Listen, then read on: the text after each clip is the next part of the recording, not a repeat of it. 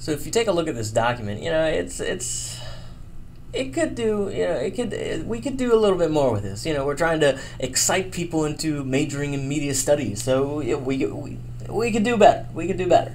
And this is actually where we can utilize some more of these style options. Let's say, for example, we highlight that first option, majoring in media studies. Well, that's sort of the grandiose uh, title of it all. And if we kind of take a look at those styles, we have something called title. As soon as we mouse over it or just click on it, we apply that style to this. And so it's pretty nice. You see now, oh, it's standing out a little bit more. Nice, nice. Uh, before we, you know, we'll, we'll, we'll play around with this a, a little bit later. Now, say prerequisites. Well, prerequisites, if I click on it, that's not really a, a, title. That's more of what we call a heading. It's sort of a heading, as you can see.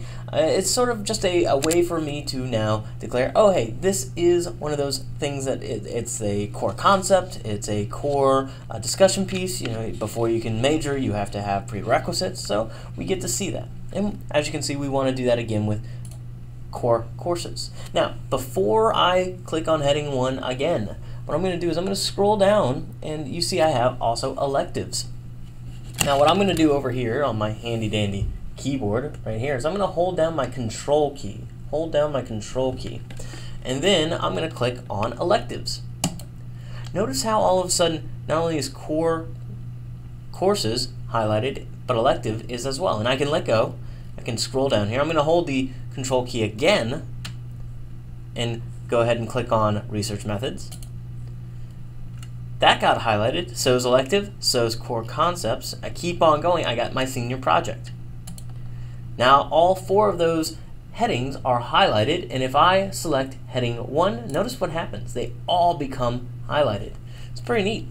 One of the things I can also do with this is now you notice every time I kind of mouse over one of these, I get a little triangle that actually lets me collapse these options. So I can come to every single one of these now, and you know, if I don't want to see any particular section, all right, I now have sort of this drop-down menu that I would see on a web page.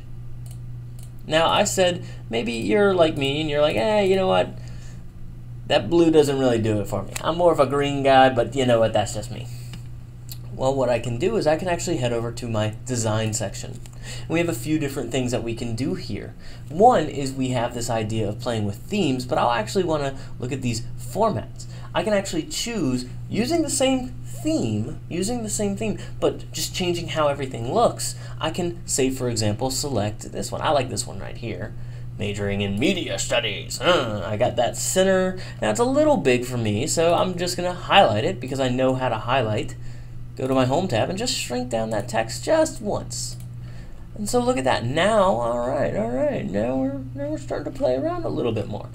You know, if I don't like that one, I can change the colors. For example, I have that option to change my colors, and I'll go with uh, say green. Ooh, look at that, green now. Media studies green. I, I like it. It kind of flows a little better, and we can continue to do this with things like our fonts, our paragraph spacings, our effects. And we can even set this as our default. If I always want it to look like this when I work with my styles, I can. Or I can switch it up and kind of, as you can see, pick different ways to have it look through all of them.